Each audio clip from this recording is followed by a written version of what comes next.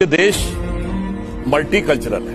हाँ ये दुनिया में इकलौता देश अगर आपसे पूछे कोई, जिस पे इस धरती पे पाए जाने वाले सारे धर्म पाए जाते हो तो वो सिर्फ़ भारत है।